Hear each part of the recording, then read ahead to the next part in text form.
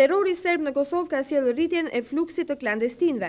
Rreth dyqind emigrantë klandestinë u kapën gjatë orëve të mëngjesit të sotëm në brigjet juglindore të Italisë dhe pikërisht në Otranto. Pjesa më e madhe e personave të kapur janë kosovarë, të tjerët shqiptarë, por kishte mes tyre edhe kurdë. Që të shtunën më shumë se gjashtëqind persona janë kapur në brigjet juglindore të Italisë pasi kanë zbarkuar atje në mënyrë klandestine. Sipas policisë italiane, ky fluks i ri lidhet me tensionin që mbizotëron në Kosovë.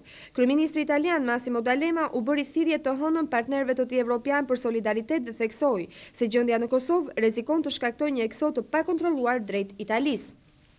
Mbrëmjen e së hënës dy motovedetat e patrullimit të klasit V pesë mijë të Guardia di Finanzas kanë sprapsur në gjirin e Vlorës dy gomone të mbushura me klandestinë, Sipas të njëjtit burim, është sekuestruar dhe një gomone në të cilën ndodheshin njëzet e tetë klandestinë.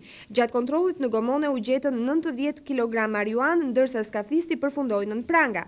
Mësohet gjithashtu se janë bllokuar dhe dy autovetura të cilat do të transportonin më tej në brendësi të Italisë një pjesë të klandestinëve të sapoardhur. Ndërsa, thuajse një javë pas hyrjes në fuqi të ligjit të antiskafeve të miratuar nga parlamenti shqiptar, më në fund, paraditen e sotme, është vendosur masa e sekuestrimit për një gomone të ndaluar një ditë më parë nga forcat italo-shqiptare të Guardia di Finanzas, dhjetë milje në perëndim të Kepit të Lagjit në jug të Durrësit.